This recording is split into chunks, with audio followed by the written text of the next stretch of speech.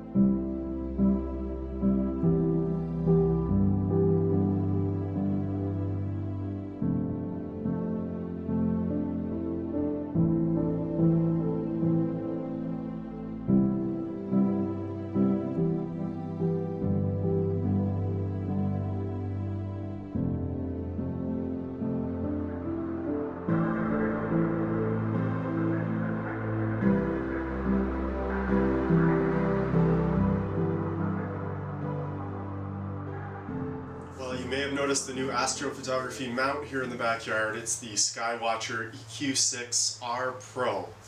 Setting up this mount and taking it out of the box, putting it together, felt uh, very familiar to me because it's a step up from the Skywatcher HEQ5 I've been using for many years. Uh, apparently Rudy uh, found something in the backyard he didn't like. Anyways, the HEQ5 works fine. Uh, this is I just needed an upgrade, something to hold some of the heavier telescopes, like the FLT 132 and anything else I happen to use in the future. So this EQ6R is uh, well capable of that with a 44 pound payload, and uh, the SynScan and the, and the uh, SynScan controller, which I love and I'm very comfortable with. I actually, it was very painless setting up this mount for the first time. I got it polar aligned with the built-in uh, polar scope, which is new and improved. Uh, and the knobs, man, they're so much uh, more substantial now. Uh, it's just a very, very robust and solid mount. Uh, I know that a lot of you guys own the EQ6R. I couldn't believe how many of you actually. Uh, I just posted it on Facebook and I saw about 20 replies of people sending pictures of their theirs in the backyard, just saying like, "Oh, great choice, man." So to be honest, it was a mount that I've wanted for a long time. Uh, it used to be the NEQ6 was, was the mount that I wanted because it was the bigger brother to the HEQ5 and so this is just the latest version of that mount, the EQ6R. The mount was sent to me from Skywatcher after seeing uh, the response from the Esprit 100 so uh, very thankful to Kevin at Skywatcher, thanks very much buddy and uh, you'll be seeing this mount for quite a while. So you know I had to use the Esprit 100 on the Skywatcher mount. Uh, it actually matches so nicely. It's not important, but it's kind of cool that the green dovetail plate on the bottom of the Esprit 100 matches the green uh, setting circle ring on the EQ6R. Ashley appreciated that. I'm certain. I know there's people that do as well. So as for what I'm doing tonight, I've got two Skywatcher mounts set up, one behind the garage and one in front. The EQ6R is, is set up on the main patio where I normally set up, and I've got the uh, ASI 294MC Pro one-shot color camera cooled uh, through the Esprit 100 telescope. Uh, that's going through the laptop with auto guiding and the usual routine. Shooting uh, the Veil Nebula, the Western Veil, six, uh, NGC 6992 that's kind of a summer target. It's kind of weird, it feels weird to shoot it uh, with a winter coat on here in uh, mid-October. But it's really high in the sky. It's just about at the meridian right now. Uh, so I should be able to get probably about two hours before it starts hitting the, uh, the top of the big maple tree behind me here.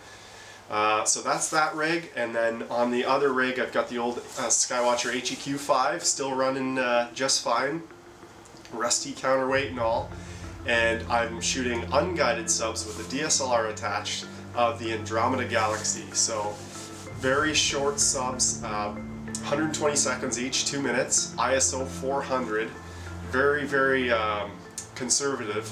And uh, yeah, the Andromeda Galaxy, so a broadband uh, color target here in the uh, Bortle Class 8 skies. So a challenging, a challenging task for sure. Uh, I've just been so inspired with some of the stuff I've seen on Astrobin lately and on cloudy nights.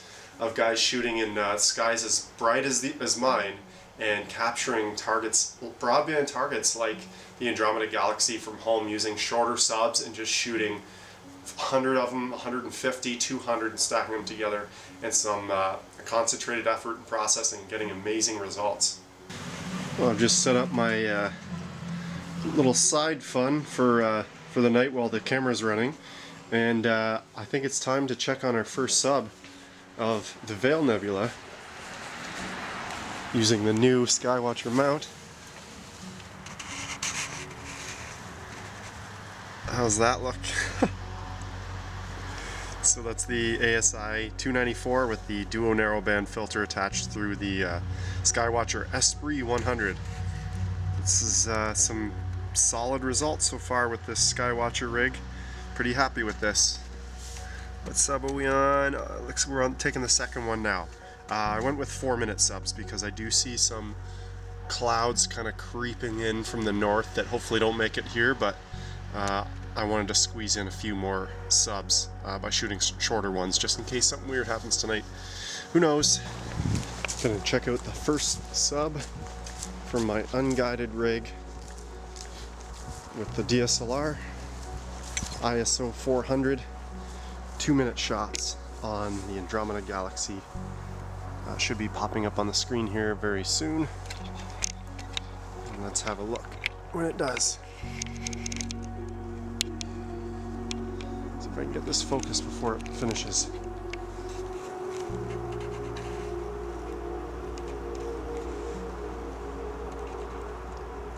There we go. So when it does pop up, you'll see it in the screen there. Got to be getting close to two minutes now. Not quite dark out yet. Oh, did you see it? I'll just stop it. Looked like a plane or a satellite went right through it. There it is there. So this glow in the middle, that's the Andromeda Galaxy. I wasn't kidding when I said the uh, Veil Nebula was really high in the sky right now. As you can see, I'm getting dangerously close to uh, hitting the legs of the tripod with the, the camera, so I'll be switching that over. One thing to mention about the, uh, the Skywatcher EQ, EQ6R, and this was mentioned from uh, Kevin at Skywatcher, to be careful with the power supply. I couldn't use a, a regular AC adapter like I could with, HE, with the HEQ5. Uh, it's a very specific power supply that needs to power them out or you could cause problems.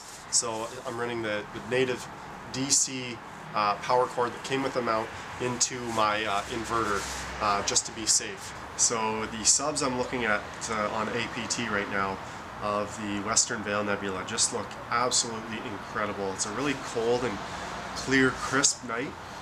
Uh, there was a crescent moon setting. I believe it's just about uh, ready to pass the horizon now.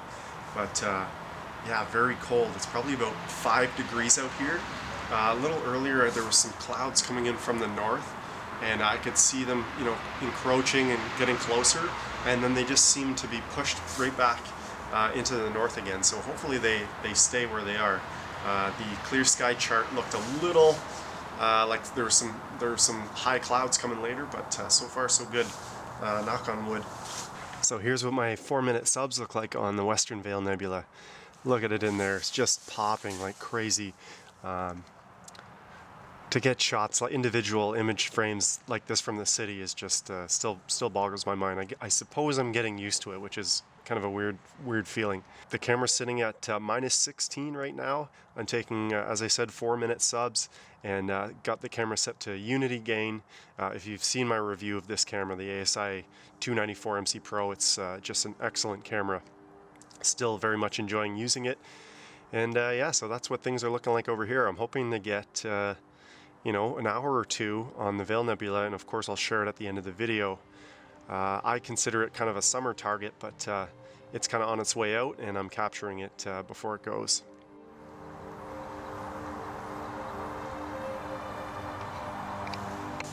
And then out here I've got the Canon T3i with the Skytech CLS CCD filter, uh, clip-in filter on the uh, Zenith Star 73 APO on the Andromeda Galaxy.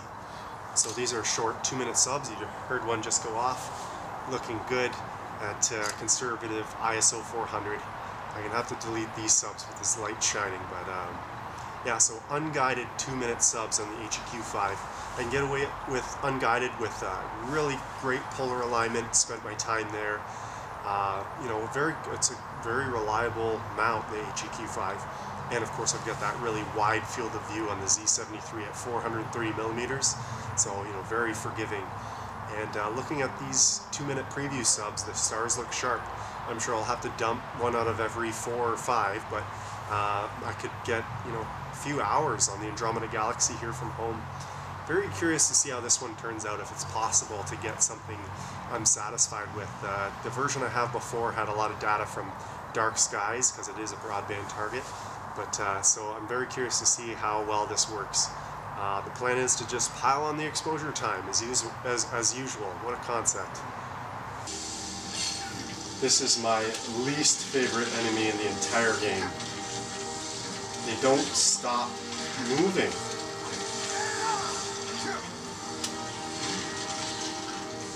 And they're hard to kill. This is insanity.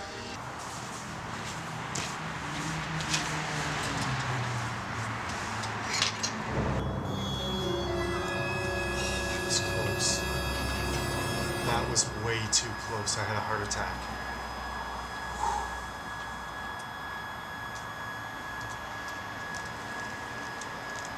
Hear how quiet it is? It's a high-pitched hum. A little quieter than the HEQ5. Similar sound.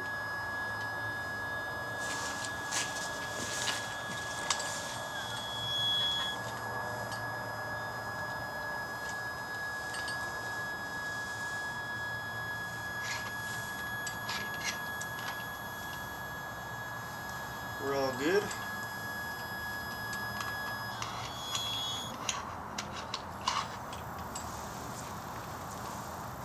Kind of does this different sound uh, near the end, right before it stops. Kind of freaked me out at first. There we go. So that's where the Veil is now. No, it really was a huge upgrade uh, going from the HEQ5 to this mount. Uh, the CEM60 obviously was amazing, uh, very robust mount, but it was just totally, it, the CEM60 was totally different, whereas this Skywatcher, it's just the new and improved version of my, my old mount I've been using since 2014, and uh, it's just, man, it's it feels so good to just use the newest improved version of a mount you've been using for so long. Like the SynScan controller is upgraded. Uh, everything about it is just, man, this is, uh, I'm having a great time with this mountain. The best part about it is because it shares so many similarities, I was able to just get up and running right away because I know exactly what to expect and what I'm doing with it. So here it is here. Uh, maybe you can see how hefty these knobs are. Like polar aligning was so much better with this one. But uh, I've done the meridian flip.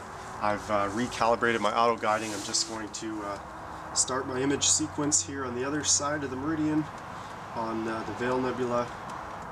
And we're off to the races. Ooh.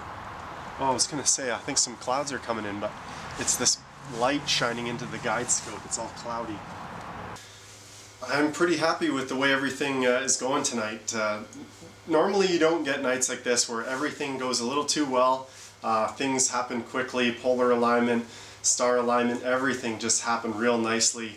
Even the clouds starting to come in and going away. Uh, I've got a bit of luck on my side tonight. Um, and being the first time I'm setting up the EQ6R, uh, it, it, makes it even rarer. It should have been cloudy tonight because I got a new piece of gear. That's normally the way it goes. Uh, but yeah, so two Skywatcher mounts running right now. Uh, I'm hoping to get a decent uh, shot of Andromeda uh, through the Z73 and my Canon T3i. So the filter is the, uh, the Skytech CLS CCD, uh, which does cut out a lot of artificial light here in the city, but it also kind of skews the data and it turns it kind of red and you lose some of the natural star color and blues. So a broadband uh, galaxy target like Andromeda is a tall order from the city. So I'm kind of curious to see if I'll actually end up with a usable image. Uh, it might take a lot of processing, so if this, this video is delayed uh, like a day or two, it's because I've spent all that time, uh, tomorrow being Sunday, processing that uh, Andromeda Galaxy. Uh, on the other side of the garage, the uh, the Veil Nebula images, the Western Veil, with the the Esprit 100 and the ASI 294, that looks a lot more straightforward. I got pretty good at processing those images through the Duo Narrowband filter. Uh, they just it's just so great. And then of course they're, they're cooled down to nine, minus 16 degrees. So uh, I won't have to deal with a lot of noise. So yeah hopefully hopefully get a few hours on both targets. I'll share them both at the end of the video. Uh, I apologize if I was just kind of gushing over uh, new equipment in this video. Uh, normally it's more about uh, the actual hobby itself of astrophotography but I feel a little bit like a kid in a candy store today got really excited, really enjoying the uh, Skywatcher mount. So thank you very much to uh, Kevin at Skywatcher for that. Uh, I will get a lot of use out of this uh, EQ6R and uh, I know there's a lot of other happy owners of uh, that exact telescope mount. I'm surprised to hear how many of you own this mount. It feels like winter's here already. You got the winter coat on. some of the winter targets are coming up. Orion will be out in about an hour or two tonight, so maybe I'll hop on over to that depending on how things go. But at this point, uh, I'm not uh, asking for anything else. It's just been an unbelievable night. So thank you guys so much for coming along as always on this journey in the backyard. And uh, I really appreciate you watching and all your wonderful comments and of course subscribing. Until next time, clear skies.